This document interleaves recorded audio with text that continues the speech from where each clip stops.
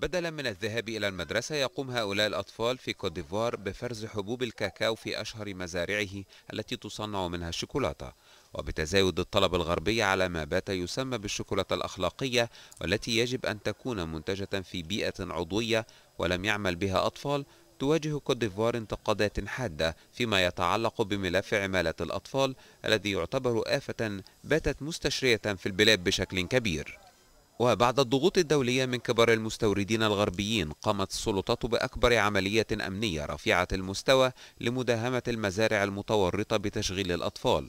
ونتيجة لهذه العملية تم العثور على 68 طفلا وإلقاء القبض على 22 شخصا بتهمة الاتجار بالأطفال.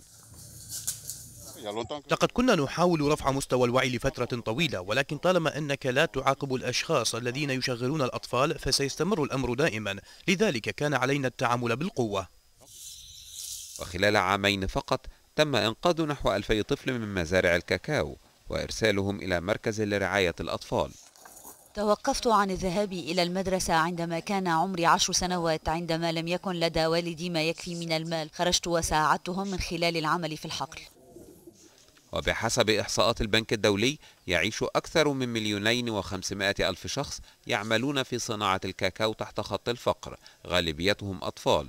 لذلك يتم استغلالهم في العمل في المزارع.